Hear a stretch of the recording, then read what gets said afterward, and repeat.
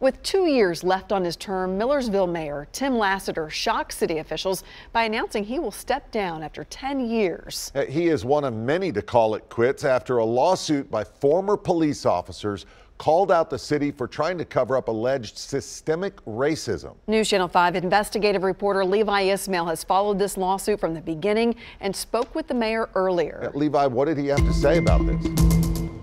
You know, the mayor assured me that nothing about the lawsuit in question here motivated his decision to step down. He says this was a personal choice to make more time for family, but the timing of all this has raised some major questions. Attorneys filed the lawsuit last October. Since then, we know of at least four people who left their jobs with the city. One former officer who allegedly harassed the plaintiffs resigned the same month. Now, then in February, former police chief Mark Palmer retired. He left the job to longtime assistant chief Dustin Carr. Now, Mayor Lassiter stepped down last night, leaving the vice mayor to take the seat until an election in November. Finally, the city manager Steve Collie told staff last week that he would be leaving for another job soon. Collie was not named in the lawsuit, but all others were, including Carr and Palmer, as co-defendants. The lawsuit claims these two made racially motivated comments and tried to cover up wrongdoings by other officers. When the plaintiffs chose to speak up, attorneys say Palmer, Carr, and Lassiter all retaliated by forcing them out.